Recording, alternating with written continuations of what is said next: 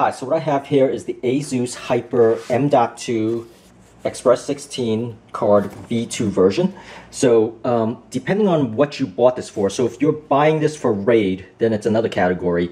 If you're buying it just to extend the additional SSD M.2 NVMEs that you have. So this particular card does support both NVMe and SSD. So I'm going to open this up. So one of the most important is the actual size of this you want to make sure it actually fits in your case. So let me go ahead and go through the measurements first. So the width of this, if you look at it, it is 20, I want to say 22 millimeters or 8 inches. So just to zoom in, 22 millimeters or 8 inches. Now the height beyond the heatsink here, so on the very edge, it's about 15 or you could see for yourself 12 to 15 millimeters or 4 point maybe 2 inches. And the depth or the width is about that. So it's about the size of the uh, angle bracket which is about half an inch. So let, let me let me just go go by that too so you could see exactly whether that fits on your case along with your GPU. So uh, that's the size. Now, I did mention that it does support NVMe and normal M.2 SSDs. So that is the particular type. Now, I will go through the RAID. So this particular card, expansion card, might not be for you uh, if you're using RAID you, you might need a basically a uh, ASUS motherboard for it to be compatible. So generally, if you bought a, or you have a motherboard that supports Threadripper or Ryzen 5 or Ryzen 7, you're okay.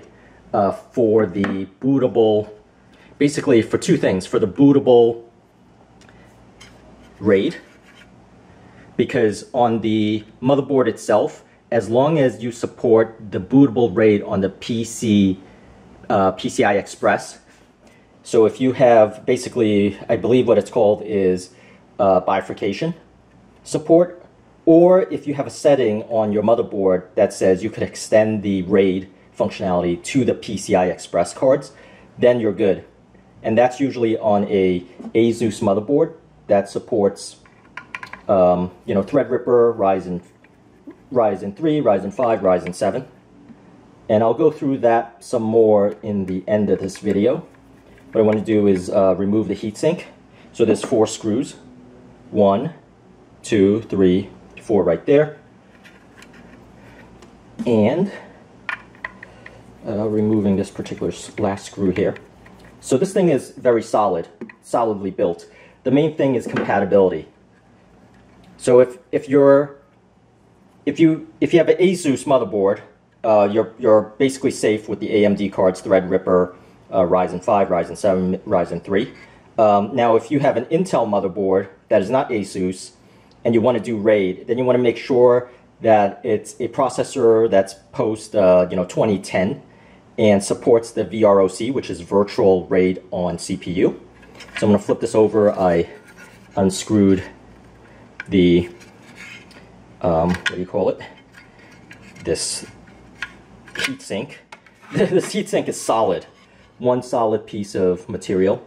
So you'll see here, it has kind of like the the heat distrib distribution, dissipation. And this is one, one completely solid piece of aluminum. Now, one other issue if you do not have, you know, your typical ASUS card or a card that supports PCI bifurcation, it will only detect one, usually one or two of the slots and not all four slots. So you want to make sure that it's compatible in that particular way. And I'll go, once again, I'll go through more of this at the end of this video. Um, so here you'll, you'll see that there's the four slots. Uh, you know, there, it doesn't come with enough screws, believe it or not, but it does support all the different sizes. So you can see all the different sizes that it, it's going to support here. As far as the M.2s, you know, the NVMEs and the SSDs. Now it does have a fan here, one very nice feature on the side here is that you could turn the fan on and off right here. You could turn it on or off. And it also has four LEDs to show you which which ones are active when you're initially you know, doing the install, so which um, slots are active. Um, all right, so, so let me go ahead now. All right, one, one more, just one more go around. So you could, you know, take a look. And then I'll go through the special cases with the RAID and the compatibility.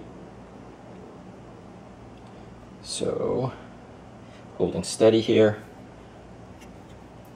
And then this side bracket with the on and off fan switch. And then the back mount here where you could see all the screws mounting supporting all the different sizes of basically SSDs and NVMEs and up top here.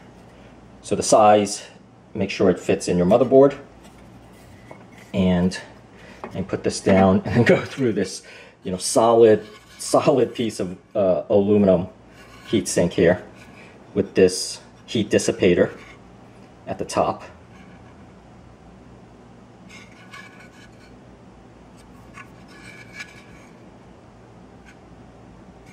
All right, now let me go ahead and go through the compatibilities and the RAID and the VROC versus the uh, ASUS motherboard combination with this. All right, let's go ahead and do that now. So this ASUS card, expansion card here is about 40 bucks on Amazon. So this is the link I'll have in the description area that I got this from. Now, you'll notice it has pretty high ratings and the people that uh, return it actually have it incompatible because they don't read what it needs to be compatible with. So you have to be a little bit careful if you want it for basically the virtual RAID on CPU with the Intel technology, so you want to make sure your CPU supports that. Now, most of the Intel CPUs support that after like uh, 2010, so you should be safe there if it's one of those Intel Xenon processors. Now, if you don't have an Intel CPU and you have an AMD CPU, you want to make sure your motherboard supports the bootable RAID and on the PCI slots. So for example, if I go to um, this ASUS motherboard, which is the ASUS uh, B405 motherboard, you notice here it says create a RAID configuration with three PCI Express 3.0 devices. So, so this will support the bootable RAID on this particular card. So you want to make sure, so, so I made sure to actually pair my, pair my ASUS expansion board here with an ASUS motherboard. So you kind of want to make sure that if, if you're not sure, you want to go to the website and research and make sure that your motherboard supports this. Otherwise, you'll end up like, um, you know, a lot of these one-star people basically returning re returning the, uh, uh, like, like 8, 12%, 3% returning it. Now, the other thing you have to be careful of is that some people report that it only supports one slot when it has four slots. And again, the reason for that is, you know, that this actually supports the bifurcation. So just make sure of that too. Otherwise, you'll end up, um, you know, returning this. But I do want to just go through, you know, some of the specs here. So right here, you'll notice these are the different sizes of the M2s. So basically, it supports like all of those sizes. Um, and it doesn't just support the NVMe, it does support the SSD also. Um, and here it says it's up to 128 gigabits. Now that translates to, uh, basically for PCI Express 3.0, it translates to one gigabyte per second. So that, that should be, uh, you know, pretty high speed. Now if you, per lane, so if you have multiple lanes, um, you know, it could support up to basically 3.5 gigabytes per second uh, for PCI Express 3.0.